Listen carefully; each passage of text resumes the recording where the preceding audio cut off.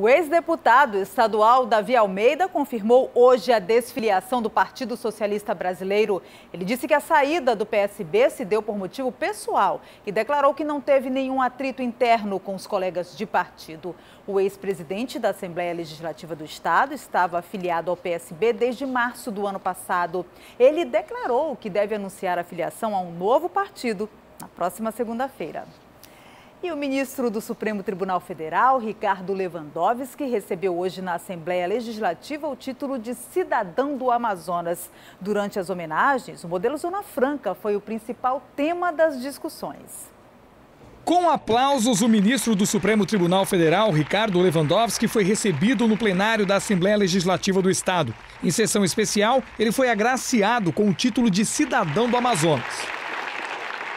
A homenagem foi uma proposta do presidente da casa, Josué Neto. Para nós amazonenses, o maior significativo e maior feito da sua trajetória, ministro, tem sido o reconhecimento da constitucionalidade dos direitos do modelo de desenvolvimento sustentável Zona Franca de Manaus. A Zona Franca de Manaus é hoje o setor da economia que mais gera empregos no estado do Amazonas. A isenção do IPI é o que atrai as empresas para o norte e promove o desenvolvimento da região.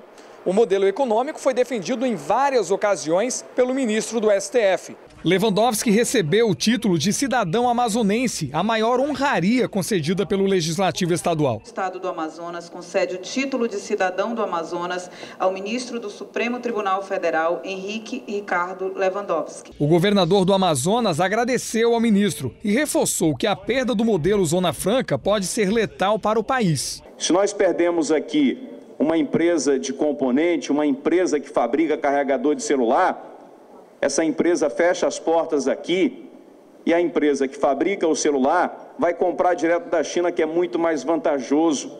E aí nós vamos ficar sem esses empregos que são gerados aqui. Ricardo Lewandowski agradeceu a homenagem e voltou a defender o Amazonas. As vantagens desta Zona Franca de Manaus foram reafirmadas reafirmadas depois várias vezes pelos deputados e senadores constituintes derivados. Portanto, é algo que suplanta, supera os governos ocasionais, mas é uma política nacional que está inscrita na Carta Magna do país.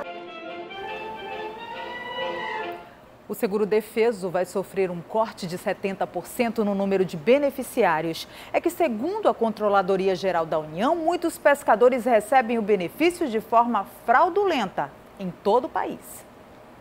De acordo com o levantamento da Controladoria Geral da União, as fraudes são absurdas. Tem pescador que aparece nos registros do Ministério da Agricultura, Pecuária e Abastecimento com apenas 7 anos de idade e outros com 140 anos. Aquino atua como pescador desde 2002. Devidamente cadastrado, ele recebeu o seguro defeso por quatro meses. O cadastramento do INSS tudo deu certo.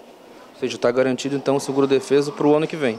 É, espero que sim, né? O seguro defeso é pago aos pescadores artesanais na época de reprodução dos peixes, quando a pesca fica proibida para a preservação das espécies. Mas, por causa das fraudes, a partir de junho, o Ministério da Agricultura deve fazer um novo recadastramento e cortar cerca de 70% nos beneficiários que recebem de forma indevida o benefício. A região metropolitana de Manaus tem cerca de 3.200 pescadores cadastrados na Associação de Pesca. A maioria já recebeu o seguro defeso. Aqueles que ainda não receberam benefício ficam preocupados. É o caso de seu Antônio, da comunidade Nossa Senhora da Conceição, do município de Careiro da Várzea. O seguro dele não foi liberado e está em análise. A gente fica esperando esse seguro defesa da gente. Aí acontece tudo isso e aí como é que a gente vai ficar?